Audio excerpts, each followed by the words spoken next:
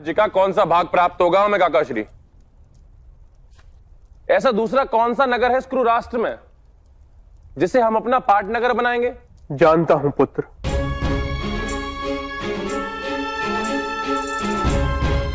मेरा विश्वास करो। तुम्हारे साथ अन्याय करने का मेरा कोई आशय नहीं।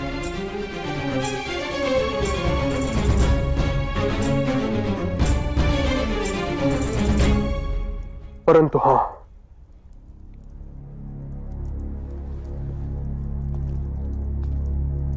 अवश्य ही हम दुर्योधन के साथ अति न्याय कर रहे हैं ये जानता हूँ। पर मैं विवश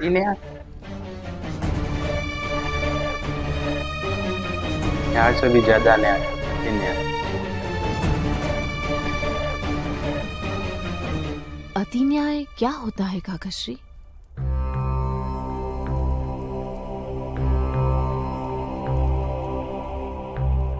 जब न्याय करते हुए हृदय में ना प्रेम हो, ना धर्म, और ना ही आनंद।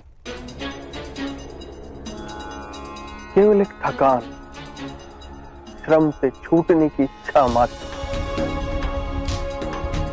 जब किसी व्यक्ति को शांत रखने के आशय से उसे दंड देने के स्थान पर पुरस्कार दिया जाए, भेंट दी जाए तो उसे अति न्याय कहते हैं वह। अन्याय अति न्याय क्यों से? मैं तो अन्याय ही कहूँ। अति न्याय वास्तव में न्याय करने वाले की हार है। पराजय है वो। कदाचित तुम्हें कुछ कम प्राप्त हो।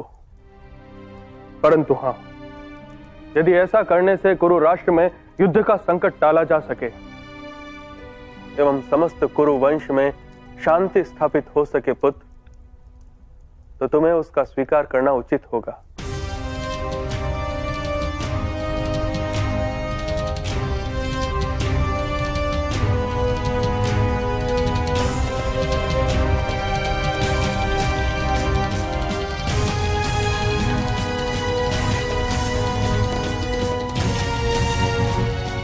ये तुम्हारे काका श्री की विनती है तुम लोगों से। पर कौन सा प्रदेश काकाश्री या गुरु राष्ट्र में ऐसा कोई प्रदेश नहीं, जहाँ कोई नगर ना हो? जहाँ मनुष्य बस न सकता हो? जहाँ प्रतिदिन असुरों और राक्षसों का भय बना रहता हो?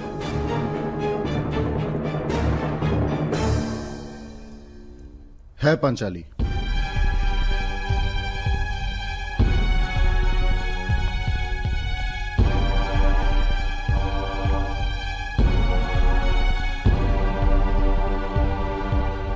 उस नगर का नाम खांडवप्रस्थ।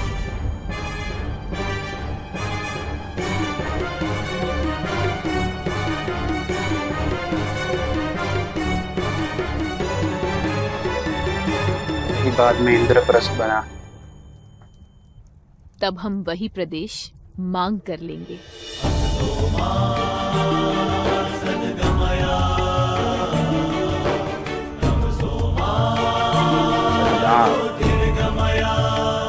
इससे विभाजन के समय परिवार में संघर्ष नहीं होगा। तो अन्याय हुआ। उस प्रदेश में नगर तो क्या एक पर्ण कुटीर भी नहीं है पांचाली। तुम जियोगी कैसे? आप पर्ण कुटीर बनाना तो जानते ही होंगे आर्य। मेरे लिए वही पर्याप्त होगा।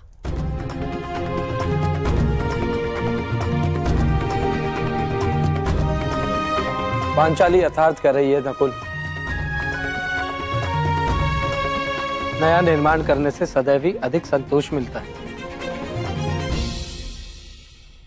और वो प्रदेश तो बड़ी सरलता से दे देंगे तुम्हें ज्येष्ठ भ्राता। परंतु वहाँ का जीवन अत्यंत कठिन होगा द्रौपदी।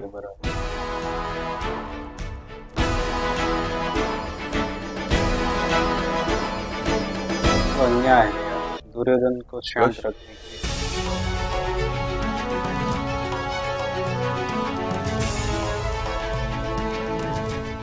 कठिनाइयाँ ही तो यश, कीर्ति और प्रतिष्ठा तीनों की माता होती है।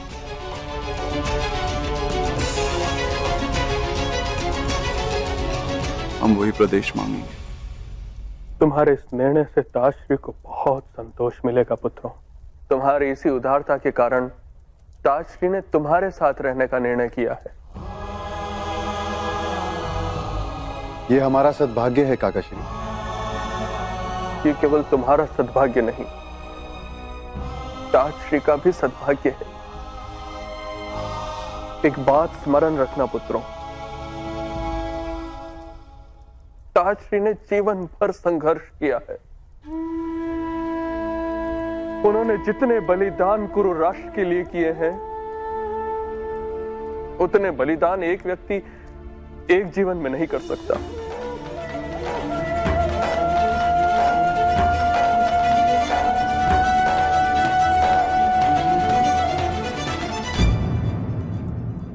पितामह ने जीवन भर कुरुवंश की सेवा की है काकाश्री अब हम पाँच भाई अपनी पत्नी के साथ सदा ही उनकी सेवा में रहें।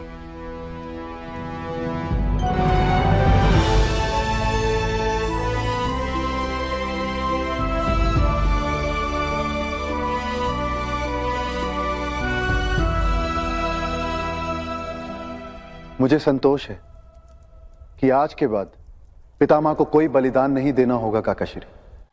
महामहिम भीष्म ने तो बलिदान ऑलरेडी दे दिया है। उन्होंने महाराज धृतराष्ट्र को वचन दे दिया है। और वो हस्तिनापुर से बंद गए और वो हस्तिनापुर के दास बन गए अब वो पांडवों के साथ नहीं जाने वाले। लेकिन पांडव को पता ही नहीं। और यहाँ पर तो अन्याय हो रहा है पांडवों के साथ। दुर्योधन कुछ ना करे, और उसकी वजह से शांति बनी रहे। इसलिए यहाँ पर पांडवों के साथ अन्याय हो रहा है। तो इसको अति न्याय नहीं, अन्याय ही कहूँगा जय श्री कृष्ण।